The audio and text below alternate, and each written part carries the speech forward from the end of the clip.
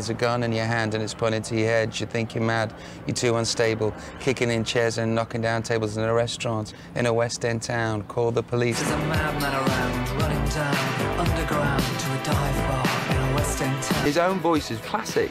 You like to listen to him talk just because it sounds nice, you know.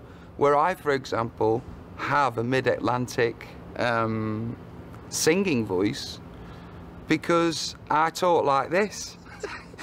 And it's not nice to listen to.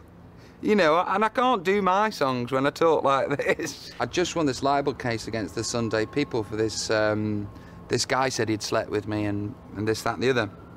Now, the reason for me taking the Sunday People to court was because they lied, not because they accused me of being homosexual. But that day, my, my lawyer, not, not, it was nothing to do, I never said, you know, I never said do this. He stood on the steps and went, Robbie Williams is not and has never been a homosexual. Oh, for crying out loud. So anyway, that night we're at a restaurant and I went, I'm, I, I, they're gonna hate me now. Everyone's gonna hate me because they're gonna think, you know, I'm homophobic. And Chris went, right, we're going to heaven. And I, right, yeah, all right, we'll go heaven.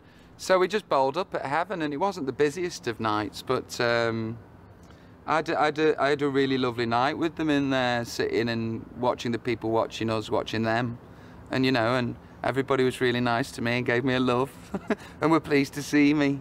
I think if they started now, it'd be like David Walliams and Matt Lucas.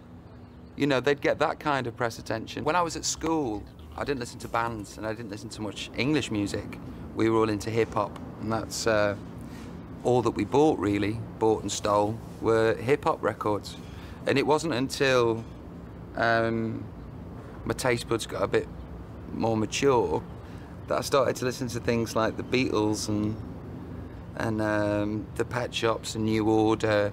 So all these things were quite new to me when I joined Take That, you know, as a 16 year old. Then I got into behaviour and um, that became my friend. And I don't, you know, I don't want to, um, as silly as that may sound or as trite as that may sound, you know, while I was in Take That, there wasn't, uh, I, there was times when I wasn't very happy, you know, and um, I used to bike to Manchester from Stoke-on-Trent and all the way up there I'd have behaviour on all the way up there and all the way back, you know, and it was 50 miles up and 50 miles back. And um, just that album took me took me to a place where I don't know, it was I, I felt I felt protected in some way by these songs. You know, I'd found this secret world. As opposed to the 80s, radio all of a sudden decided that they weren't going to have much colour. You know, it's all going to be, you know, it's either going to be blue or red or green, and that's it. And anything that's skirting around the edges, we're going to clear that off. Friendly Fire, that's just one of, for me, lyrically, one of the best songs that's been written in the last 10 years.